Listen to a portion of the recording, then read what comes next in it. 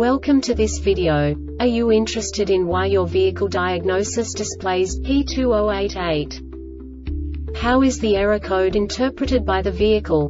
What does P2088 mean, or how to correct this fault? Today we will find answers to these questions together. Let's do this. First, let's look at the history of diagnostic fault code composition according to the OBD2 protocol, which is unified for all automakers since 2000.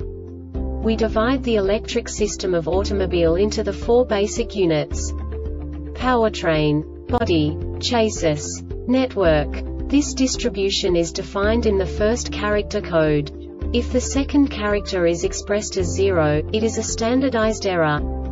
In the case of numbers 1, 2, 3 it is a more prestigious expression of the car-specific error.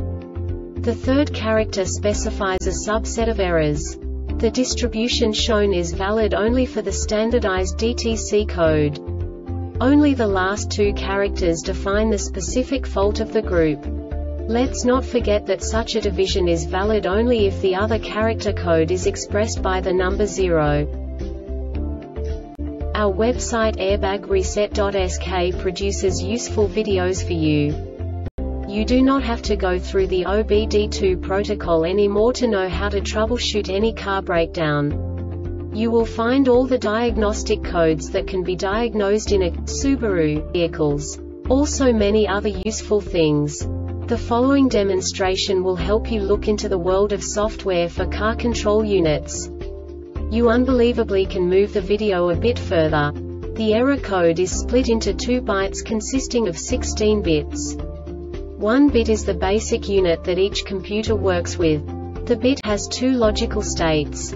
0, low level, 1, high level. By combining the first two bits, the basic character of the error code is expressed.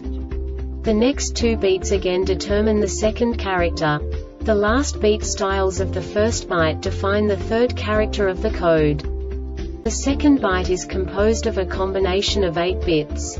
The first 4 bits determine the fourth character of the code. And the combination of the last 4 bits defines the fifth character. A single byte conceals 256 possible combinations. We now know in what way the diagnostic tool translates the received information into a more comprehensible format. The number itself does not make sense to us if we cannot assign information about it to what it actually expresses. So, what does the diagnostic trouble code P2088 interpret specifically Subaru car manufacturers? The basic definition is ABS regenerative axle pressure sensor circuit open or short to ground. And now this is a short description of this DTC code. Ignition on ignition voltage is greater than 10 volts. This diagnostic error occurs most often in these cases. C012 C06 or C12B9A short to ground or open is detected signal circuit. The Airbag Reset website aims to provide information in 52 languages. Thank you for your attention and stay tuned for the next video.